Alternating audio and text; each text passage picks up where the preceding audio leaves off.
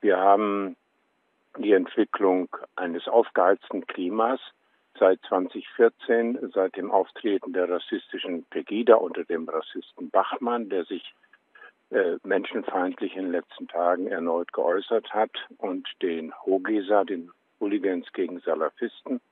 Und dann hatten wir das ungeheure Datum des 1. September letzten Jahres, als Björn Höcke, der Spitzenkandidat in Thüringen, Kalbitz aus Brandenburg mit Hooligans, also Gewalttätigen äh, der ganzen Nation demonstriert haben. Das war ein Fanal, ich kann jetzt zuschlagen. Und man hat zugeschlagen.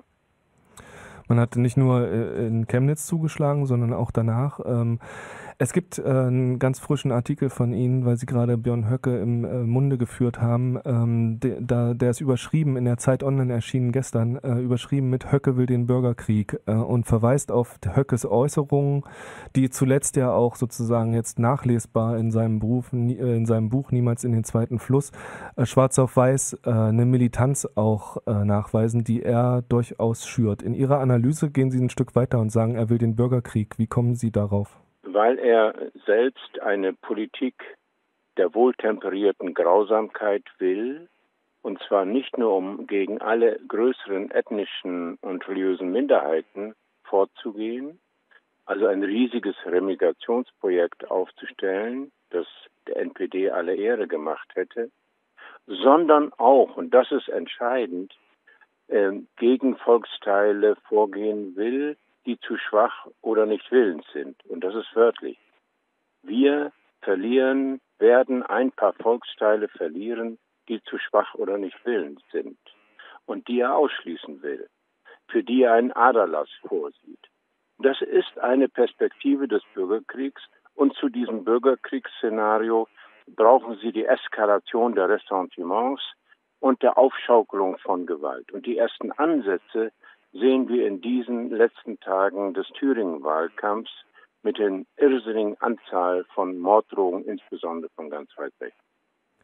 Die sich auch äh, an sozusagen auf den CDU-Kandidaten beziehen, also sozusagen auch das konservative politische Milieu berühren, was ja auch schon mit dem äh, Mord an dem Herrn Lübcke äh, deutlich gewesen ist, dass, es, dass die Feinde sozusagen immer mehr, immer breiter werden. Ähm, die Feinde einer Rechten, die radikalisiert ist äh, durch die Atmosphäre, die durch die AfD äh, angeheizt worden ist oder befördert worden ist.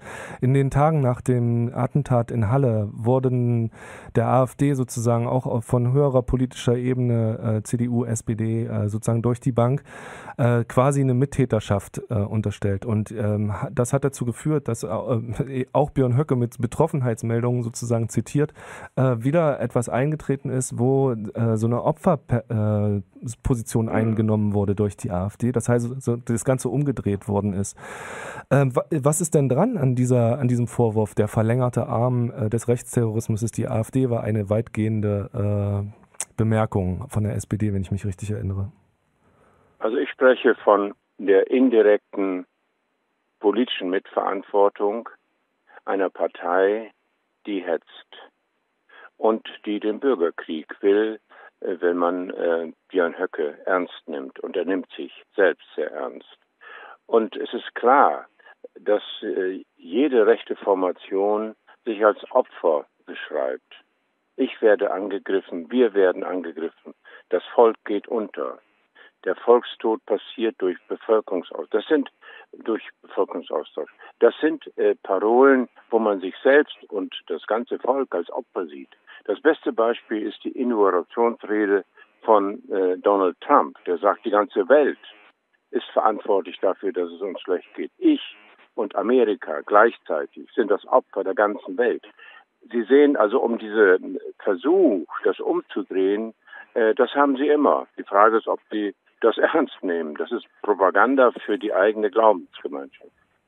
Und das ist ein ganz wesentlicher Aspekt, denn es gibt ja bei den Tätern, also wenn wir zum Beispiel an, äh, an die Flut von ähm, rassistischen ja, Verbrechen eigentlich oder Straftaten denken, die nach 2015 deutschlandweit äh, Alltag gewesen ist. Äh, angezündete Häuser, bedrohte Menschen, äh, geschlagene, bespuckte Menschen. Das war ja so, so, man konnte sie ja gar nicht mehr zählen.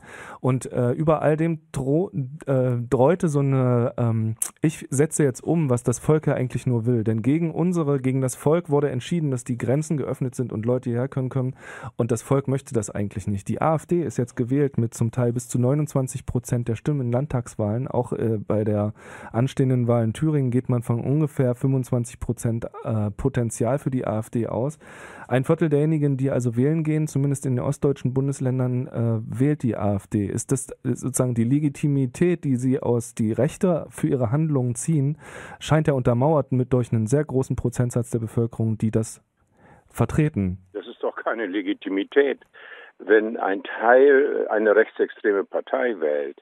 Es war auch nicht legitim, äh, dass äh, die Nationalsozialisten radikal antisemitisch agiert haben und den Holocaust verbrochen haben, nur weil sie mal 30 Prozent und 34 Prozent der Stimmen Ende der Weimarer Republik bekommen haben. Nein, mein Begriff der Legitimität schließt, äh, bezieht sich auf Bürger- und Menschenrechte. Jetzt ist ziemlich die ganz große Frage, ähm, wie schafft man eine Lücke zu schließen, ähm, die und äh, wenn man diese 25 Prozent nimmt, ne, äh, in Bezug auf Legitimität, also Stimmenanteil, kann man das ja runterrechnen, sind die Prozentsätze der Bevölkerung, die die AfD zu wählen bereit sind, ja kleiner, aber immer noch enorm groß eigentlich dafür, dass es, wir haben es gerade gehabt, ne, was Björn Höcke von sich gibt, scheint ja für Leute kein Grund zu sein, die, dieser Person nicht trotzdem eine Stimme zu geben. Und äh, wenn, wenn es nur aus, aus, in Anführungsstrichen, Protest ist, wie schafft man denn klarzumachen, dass wir genau darüber reden, nämlich äh, sozusagen absehbar Menschen in äh, Positionen bringen, die auf die Menschenrechte pfeifen und diese sozusagen sogar eher abschaffen wollen? Ja, warten Sie ab. Ich bin noch nicht ganz sicher, was am Sonntag passiert. Ich nehme den Wähler ganz ernst. Deswegen sage ich selbst äh, potenziellen Anhängern der AfD, diese Partei, die Höcke jetzt repräsentiert, ist längst keine Protest- oder Wutpartei mehr sondern eine rechtsextreme Partei, die den Bürgerkrieg in die Dörfer und Städte bringen will, wenn sie diese Politik der sadistischen Grausamkeit will, wie Höcke das äh, ausweislich seines Buches und seiner Äußerung und seinem Verhalten klar macht. Und dann vielleicht eine Ergänzung. Wir haben ja die Chance, dass der Weg Thürings in den letzten fünf Jahren fortgesetzt wird. Und das bedeutet, dass man so wie ich in Sachsen für Kretschmer äh, empfohlen habe, so sage ich für Thüringen. Und ich kenne zig Städte und habe hunderte von Gesprächen geführt in meinen Studien. Wählen Sie diesmal Ramelow. Das ist der anerkannte Landesvater. Das ist derjenige, der weit über 50 Prozent Zustimmung bekommt äh, und der einen freiheitlich-pragmatischen und überhaupt nicht, wie manche meinen, kommunistischen Kurs fährt, aber einen sozialen, der also das an Protest, was man zu Recht auch hat, dass man abgelöst wird und abgeschnitten ist und abgehängt ist in den Dörfern, dass er das aufgreift und sagt, ich will die Verbindung von Stadt und Land. Ein bisschen so wie Mike Moring auch von der CDU. Ich will zugleich die Ausdehnung Qualifizier äh, des qualifizierten Lehrpersonals, bessere Bildung, mehr Sozialpädagogen. Das sind doch entscheidend richtige Schritte. Und den Thüringer Wald wollen sie auch retten. Also, wenn es ein Patt gibt, dann ist die Gefahr des Chaos groß. Und da kann dann Höcke reingrätschen und wir haben eine unregierbare Situation in Thüringen. Niemand kann das wollen. Es erinnert mich ein bisschen an die Situation 1930 in Weimar, als die letzte sozialdemokratische Regierung wegen eines kleinen äh, Dissenses äh, abgelöst wurde vom damaligen Reichspräsidenten. Eine ähnliche Situation, was das Patt anlangt, haben wir auch. Also in dieser Ausnahmesituation tun Sie als Wählerinnen und Wähler, wenn ich das so sagen darf, alles, um die gegenwärtige Regierung weiter regieren zu lassen. Geben Sie ihr ein legitimes Mandat von äh, eben der Mehrheit der Sitze im Parlament und die Kleinparteien, die sowieso nicht über die 5-Prozent-Klausel kommen, die sollen diesmal, die Wählerinnen und Wähler sagen, diesmal wähle ich nicht die Piraten, wähle ich nicht X, sondern äh, wähle ich nicht die äh, an der 5 Prozent äh, Prozenthürde gefährdete FDP, sondern ich wähle Rot, SPD oder Grün. Bleiben wir in Thüringen, äh, weil das ist ja ein ganz interessanter Fall ähm, für sozusagen äh, den Ort, an dem die AfD sehr radikal rechts ist, innerhalb des AfD-Spektrums sogar, mit Höcke als der Person Nummer eins, die sie ja inzwischen tatsächlich auch Anwandlungen hat, äh, die einen äh, sozusagen äh, denken lassen, dass er über Führerfiguren und sich selbst tatsächlich in, im Ernst nachdenkt, der sich ja irgendwie geschickt fühlt, also von jemandem gesendet fühlt, ähm, da, was ja jetzt erstmal pathologisch vielleicht noch ganz anders erklärbar ist. Aber ähm, was ich damit, worauf ich hinaus will, ist, dass Thüringen gleichermaßen auch der Ort des NSU ist, also aus Jena äh, und anderen Orten Thürings ist eine re rechte, äh, rechts, rechte Terrorzelle entstanden, auf, und zwar auf einem Nährboden, der sehr viel breiter ist, wie wir wissen, durch äh, Untersuchungsausschüsse äh, und auch Verfahren. Ähm, das heißt also, es gibt einen Background, der ganz klar macht, ähm, auch Thüringen hat ein Problem mit Rechtsextremismus ähm, und repräsentiert wird eine rechte Politik durch die AfD und wir reden trotzdem darüber, dass es äh, viele Wähler geben kann, die kein Problem damit haben, das zu tun. Ich, mir ist immer noch nicht klar und vielleicht haben Sie ja als sozusagen aus Ihrer soziologischen Sicht äh, auf die Sache eine Erklärung, warum Leute das überhaupt nicht beeindruckt, äh, die sichtbare Realität der Menschenfeindlichkeit und äh, die im Zweifel akzeptieren würden, von jemandem wie Björn Höcke in Anführungsstrichen geführt zu werden? Ja, das ist ein Problem. Also ich würde nicht sagen pathologisch, das ist eher eine faschistische Strategie. Wir sagen, wie wir die Nation mythisch uns vorstellen, als große Veranstaltung für die eigene Ethnie. Wir brauchen eine Massenbewegung, auch mit Gewalt, um äh, gegen den gegebenen demokratischen Rechtsstaat vorzugehen und dazu dann auch auf ein autoritäres Führerprinzip zurückzugreifen. Das finden Sie alles in dem Buch niemals äh, zweimal in denselben Fluss. Ähm, richtig. Warum aber gibt es einen Nährboden? Den gibt es, ja. Äh, den konnte man in den 90er Jahren beobachten. Äh, den, der hat sich radikalisieren können und in Ressentiments und auch Gewalt im Thüringer Heimatschutz verwandeln können unter dem V-Mann Tino Brandt. Eine furchtbare Entwicklung. Der Rechtsstaat hat nicht angemessen reagiert, die Öffentlichkeit auch nicht, die war eher verängstigt zum großen Teil, da wo der Thüringer Heimatschutz ihr Gewaltunwesen trieb. Äh, und aus dieser aus diesem Vakuum, Rechtsstaat hat nicht genügend reagiert, Gesellschaft nicht, Politik nicht, ist, ist dann die Chance entstanden, sich weiter zu radikalisieren mit der Gruppe Chelpe und andere im äh, sogenannten nationalsozialistischen Untergrund. Jetzt Ihre Frage, was den Nährboden anlangt. Ja, Sie haben einen Nährboden, übrigens auch im Westen. Aber die Differenz ums Ganze ist, ob aus diesem Nährboden äh, etwas anderes wird, ob er sich verwandeln lässt in eine Bewegungspartei. Also ob der Resonanzraum so ins Schwingen gebracht wird, dass der ganze Raum erschüttert wird. Und das versucht die AfD in Thüringen. Und deswegen ist sie eine Gefahr für jedes Dorf in Thüringen, für jede Stadt, wenn sie noch mehr Einfluss bekommt. Sie kann dann nämlich stärker in Verbindung treten oder deren Gefühle, deren äh, äh entfesselte Ressentiments mit denen, die zuschlagen. Es gibt etablierte äh, rechtsextreme Gewaltstrukturen in Thüringen, auch schon zum Teil seit den 90er Jahren. Äh, und es gibt auch rechtsterroristische Gruppen und die, die sie unterstützen. Und die sagen, jetzt ist die Stunde gekommen. Deswegen machen wir jetzt im Wahlkampf Morddrohungen oder mehr. Und das ist die Gefahr. Wir wollen ja nicht unbedingt, dass Thüringen zerstört wird und im Chaos endet.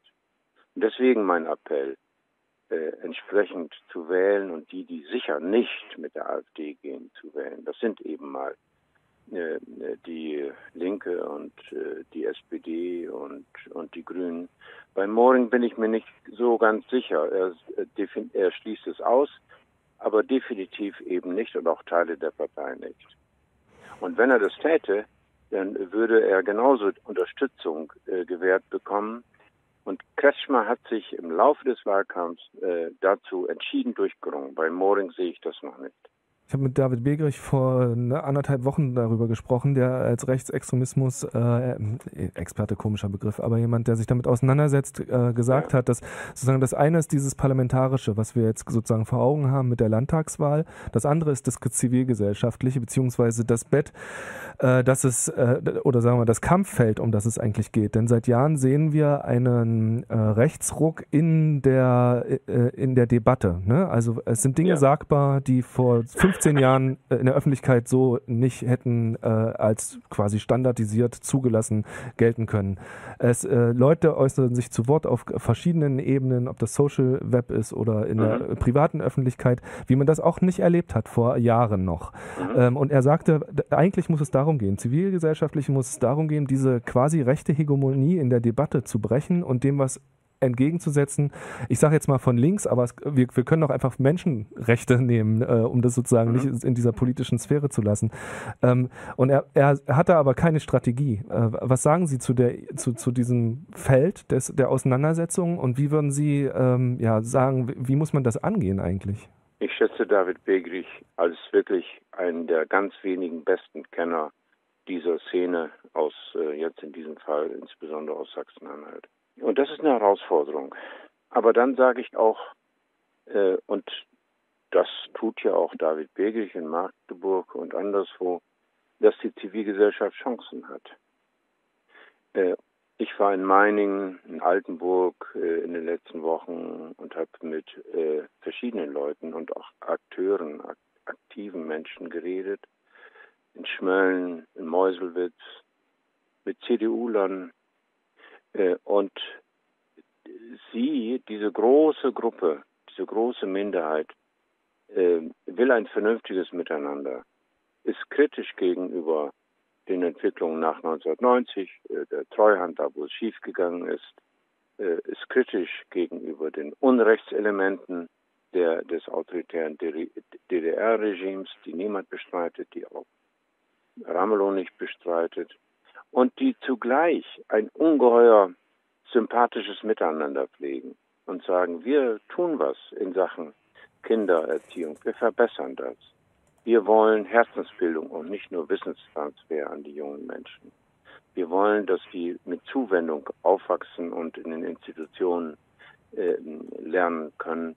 Und das ist die beste, übrigens demokratische Gewähr dafür, dass man nicht runterschaut und Mobbing macht und abwertet und dann sich von denen, die Ressentiments schüren, sozusagen einkaufen lässt. Das ist die Alternative. Ich sehe sie in Meiningen. Ich sehe sie in Altenburg. Ich sehe sie natürlich in Jena, Weimar und Erfurt. Nein, die, äh, ich sehe sie im Parlament. Ich sehe sie in Untersuchungsausschüssen, etwa geführt von Dorothea Marx, der SPD-Politikerin. Großartig. Nein, diese Chance für ein großartiges Thüringen hat Thüringen. Aber sie aber die, die Wählerinnen und Wähler entscheiden darüber äh, in seltener Dramatik an diesem Sonntag.